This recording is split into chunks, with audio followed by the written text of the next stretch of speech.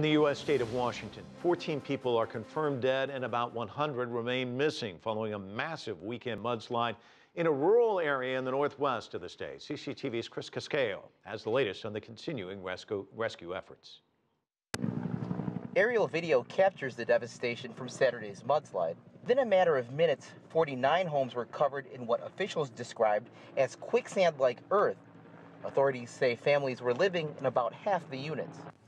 Tiffany Hardy Tim saw the destruction firsthand Sunday morning and is among several family members and friends of those reported missing, waiting for the go ahead from first responders to go back again. My good friend, her mom, and her baby are missing up there. And um, we just kept on yelling for them, kept on seeing if we could hear anything, and we couldn't hear anything. The Stillaguamish River is flowing again, and that means rescue efforts will not be hampered by the threat of any more flooding. Authorities are still blocking traffic on a major state highway for several kilometers, still covered in mud and debris.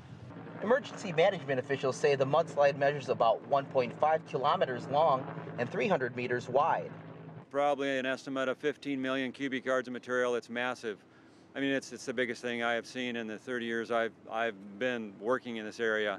Meanwhile, they're still calling the operation search and rescue, not recovery. We're still holding out hope that we're going to be able to find uh, people that may still be alive. But keep in mind, we have not found anybody alive on this pile since Saturday. For those still looking for missing loved ones, they know time isn't on their side.